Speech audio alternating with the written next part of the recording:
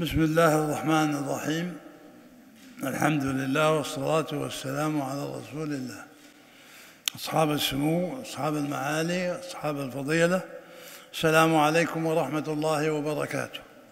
يسعدني ويشرفني أن أرفع لمقام سيدي خادم الحرمين الشريفين وولي عهده أسمى آيات الشكر والعرفان. لما تحظى به جائزة الملك فيصل العالمية ومؤسسة الملك فيصل الخيرية من دعم ورعاية. وأود أن نرحب بكم في هذا اليوم ونحن نحتفل بإعلان أسماء الفائزين بجائزة الملك فيصل لهذا العام 2023 تفضل. شكرا سمو الأمير. بسم الله الرحمن الرحيم. بيان الأمانة العامة لجائزة الملك فيصل حول نتائج أعمال لجان الاختيار لهذا العام 1444 هجرية 2023 ميلادية. بعون من الله وتوفيق اجتمعت لجان الاختيار لجائزة الملك فيصل بفروعها الخمسة خدمة الإسلام والدراسات الإسلامية واللغة العربية والأدب والطب والعلوم.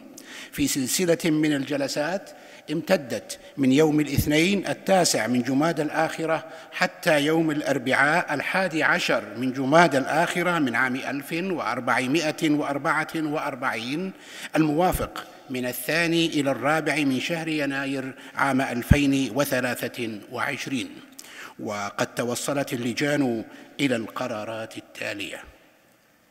أولا جائزة الملك فيصل لخدمة الإسلام قررت لجنة الاختيار لجائزة الملك فيصل لخدمة الإسلام منح الجائزة لهذا العام 2023 بالاشتراك لكل من الأستاذ الدكتور تشوي يونغ الكوري الجنسية أستاذ الدراسات الإسلامية في جامعة يونجي وهانكوك للدراسات الأجنبية في جمهورية كوريا الأجنبي الجنوبية. وفضيلة الشيخ السفير ناصر بن عبد الله الزعابي الإماراتي الجنسية رئيس المجلس الدائم لصندوق التضامن الإسلامي. وقد منح الأستاذ الدكتور تشوي يونغ الجائزة لجهوده الدعوية والتعليمية. التي تمثلت في تدريسه اللغة العربية والعلوم الإسلامية في الجامعات الكورية وإلقاء الدروس والمحاضرات العلمية للتعريف بالإسلام وتأليفه وترجمته لعدد كبير من الكتب الإسلامية التي أسهمت في نقل الثقافة الإسلامية إلى مجتمعات الشرق الأقصى إضافة إلى دوره البارز في عدد من المنظمات الإسلامية التي يتمتع بعضويتها وتميزه بشخصية علمية رصينة وانفتاح فكري واعتدال ووسطية. أما فضيلة الشيخ السفير ناصر بن عبد الله الزعابي فقد منح الجائزة لجهوده في العمل الخيري والإغاثي من خلال عضويته في عدد من الجمعيات والمؤسسات الخيرية وتنظيمه المؤتمرات والمنتديات والندوات ذات ذات العلاقة بالعمل الخيري ولإدارته الحكيمة في رئاسة المجلس الدائم لصندوق التضامن الإسلامي بمنظمة التعاون الإسلامي حيث شهد الصندوق توسعا وتنوعا في نشاطاته عادت بالنفع على الشعوب الإسلامية مما أعطى صورة مشرقة للعمل الإسلامي المعاصر. جائزة الملك فيصل للدراسات الإسلامية.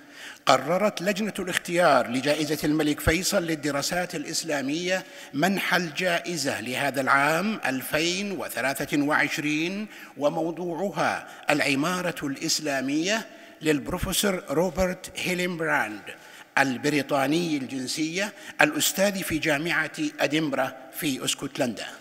وقد منح الجائزة لمبررات منها تميز أعماله بالشمولية الواسعة جغرافيا وزمنيا حيث غطت شمال إفريقيا ومصر وفلسطين ووسط آسيا وامتدت من مراحل الإسلام الأولى حتى القرن التاسع عشر الميلادي.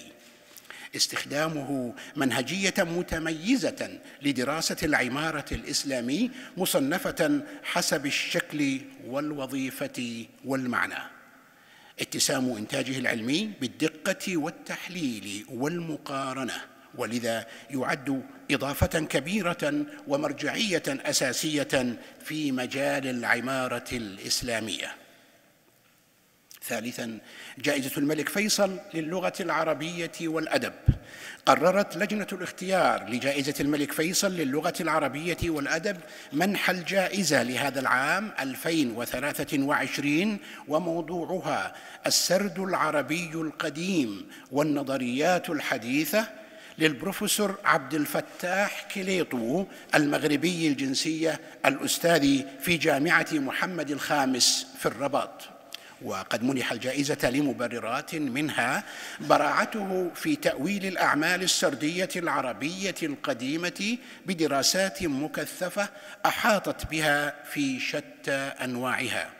تمثله المناهج النقدية الحديثة تمثلا ايجابيا وعمله على تكييفها بما يناسب رؤيته التي اتصفت بالجدة والطرافة والإبداع وبها ارتاد مناطق في السرد العربي القديم لم يلتفت إليها أحد قبله.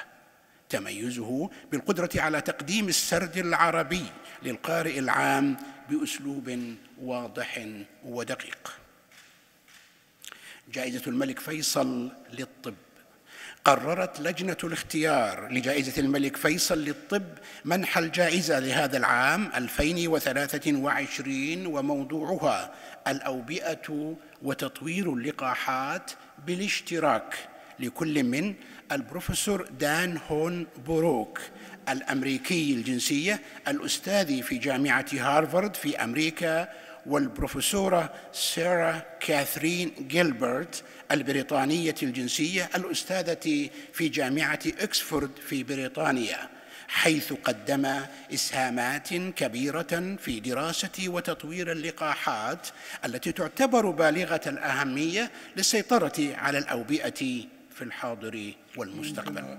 وقد صفق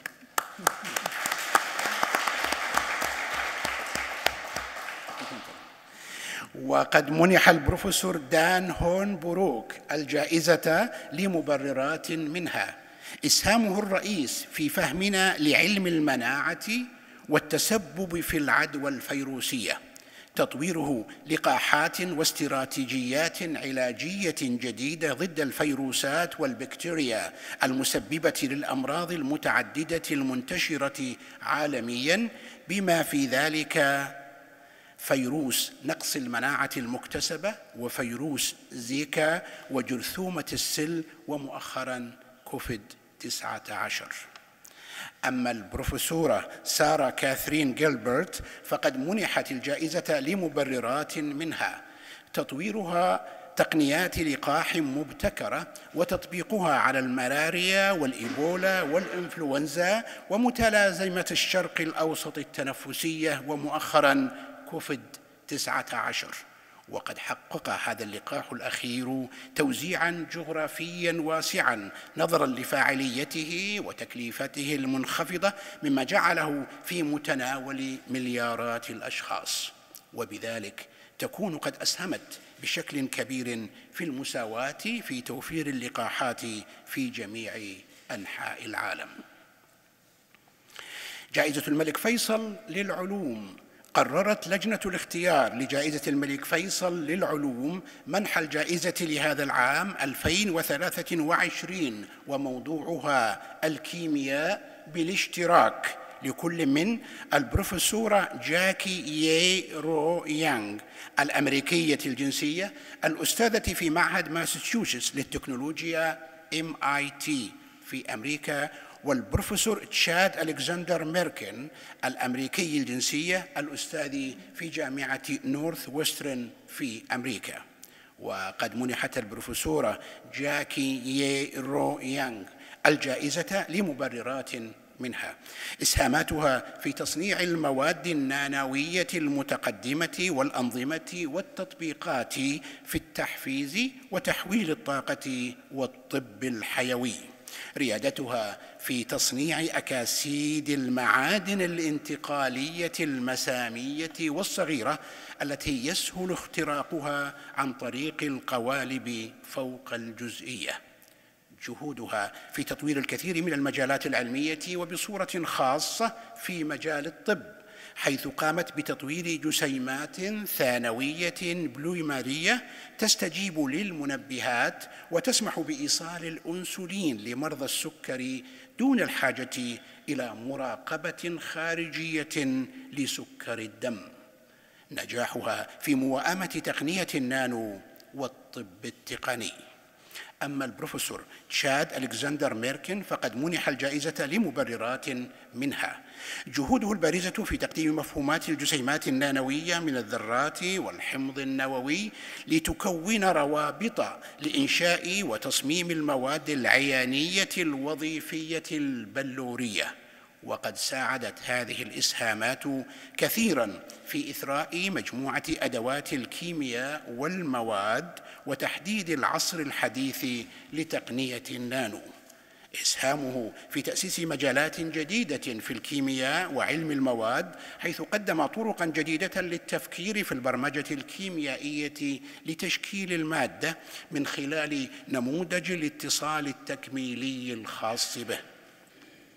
صياغته قواعد التصميم الأساسية التي سمحت ببناء مئات الأنواع المختلفة من البلورات حيث يمكن استخدام هذه الأنواع الضخمة من البلورات لتصميم وتوليف وفحص وتحديد البنى النانوية الجديدة مع أي خصائص كيميائية أو فيزيائية مرغوبة. امتداد اكتشافاته إلى مجالات عديدة منها التشخيص الطبي والعلاج ويعتبر حمض النواة الكروي الذي صممه أساسا للعديد من الهياكل العلاجية الرائدة في التجارب السريرية البشرية مما يوفر علاجات لتحسين الحياة ضد العديد من الأمراض. وتتقدم الأمانة العامة لجائزة الملك فيصل بخالص التهاني وصادق التبريكات للفائزين وتود أن تقدم خالص شكرها لعضوات وأعضاء لجان الاختيار الكرام والخبراء والمحكمين الأفاضل على ما قاموا به من جهد كبير. كما تشكر أمانة الجائزة كل من تعاون معها من المنظمات والجامعات والمؤسسات العلمية بالترشيح وتقدر لوسائل الإعلام تغطيتها لأنشطة الجائزة وتثمن بكل تقدير لكم أيها الإخوة والأخوات كريم حضوركم. سائلين المولى جل وعلا أن يمد العاملين في حقول العلم بالعون والتوفيق. والسلام عليكم ورحمة الله وبركاته.